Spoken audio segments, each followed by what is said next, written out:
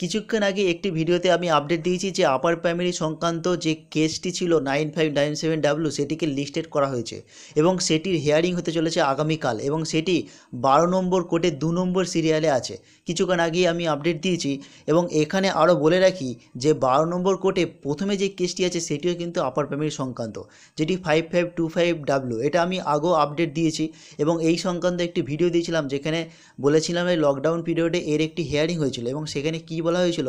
তার সমস্ত আপডেট নিয়ে একটি ভিডিও করেছিলাম, যার লিঙ্ক ডিসক্রিপশানে আছে, সেখানে গিয়ে দেখে নিতে পারেন।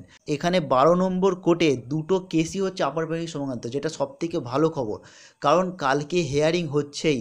অর্থাৎ যে কোনো একটি কেস উঠলেই কিন্তু প্রাইমারি সংক্রান্ত মামলার শুনানি হচ্ছেই, কারণ দুটো কেস কিন্তু অভিন্ন, এর আগেই কিন্তু হাইকোর্ট থেকে বলে দেওয়া হয়েছিল এবং সেখান থেকে অর্ডারও দেওয়া হয়েছিল এবং nine five nine seven W এটি নিয়ে লড়বেন বিকাশ রঞ্জনবাবু এবং ফাইভ ফাইভ টু ফাইভ এই কেসটির জন্য লড়বেন ফিরদোস শামীম।